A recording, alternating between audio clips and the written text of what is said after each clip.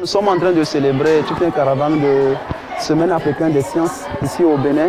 Donc nous avons quitté à et nous sommes descendus à Parakou.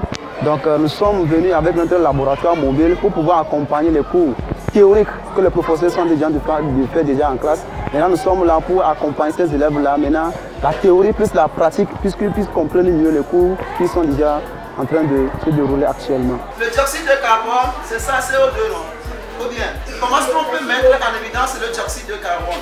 Oui. Avec l'eau, l'eau de chou.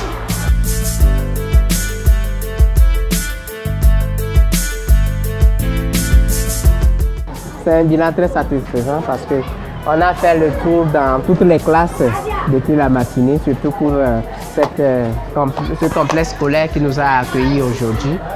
Et on a vu l'engouement que ça a donné. Seulement que je suis triste parce qu'on ne pourrait pas revenir encore, puisque les enfants le réclament.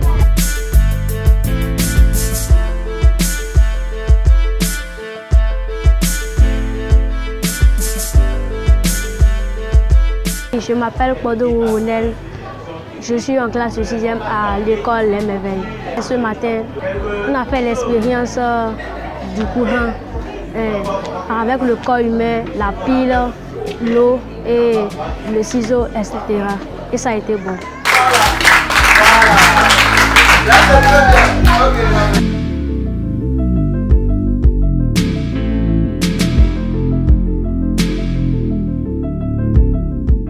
Ils ont intérêt, ils ont trouvé l'intérêt de la chose.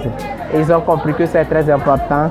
Ils aiment manipuler les enfants. C'est ça aussi, en quelque sorte, l'éducation.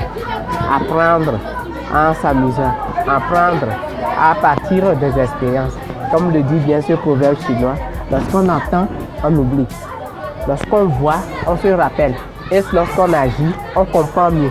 Donc, que nous transformons nos différents cours, nos différentes séances de physique, de chimie, à des travaux pratiques, à des séances où les enfants vont innover, les enfants vont parvenir à découvrir ou à concevoir leurs propres intelligences. C'est ce qui va faire que lorsqu'ils vont devenir grands, ils peuvent mettre ces propriétés-là en application en innovant.